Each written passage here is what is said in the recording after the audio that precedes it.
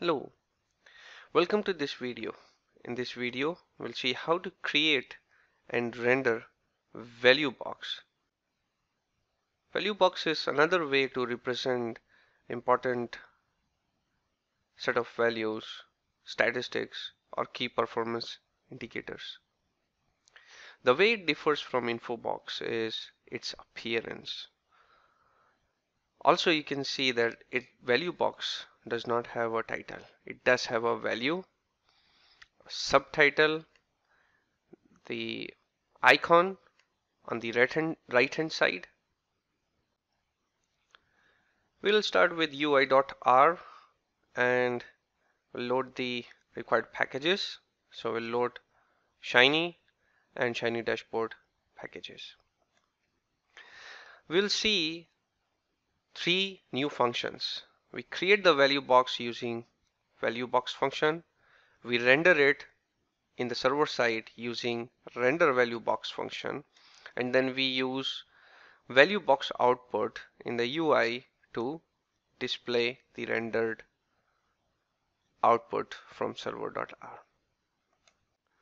If we go further down in the dashboard body, this is where we'll create the tab page within tab items we've got tab item and remember the tab name was VB in this if you recall we had two fluid row items. So the first fluid row we have got value box output.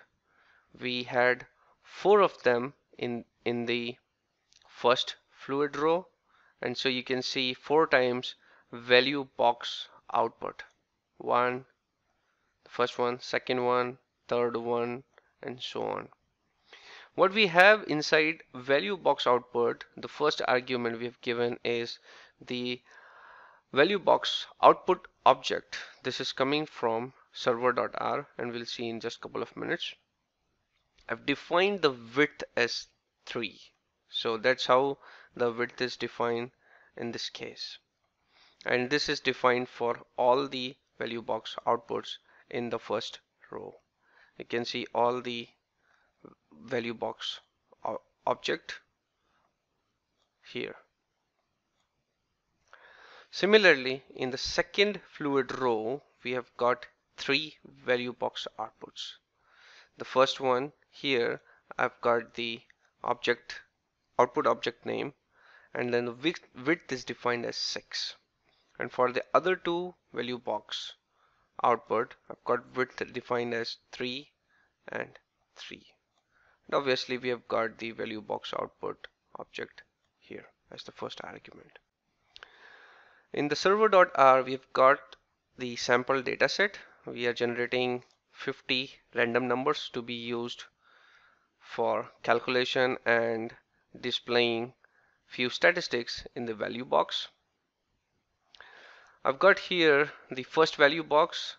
This goes with the first fluid row. And we are using the render value box function. Within that we are creating the value box using value box function. We give the value as minimum of the dataset values. S is coming from here.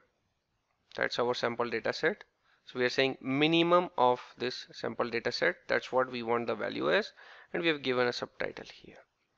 Similarly, we have got another value box with the maximum value.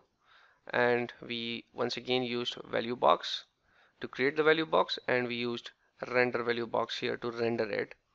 And we have given a subtitle for maximum value.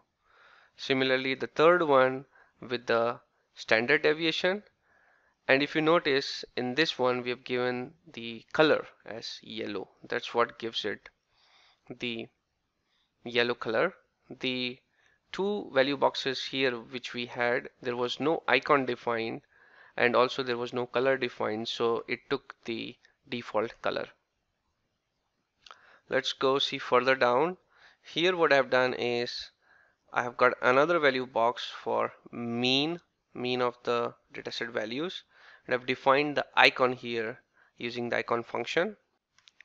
And then I've got defined the color as purple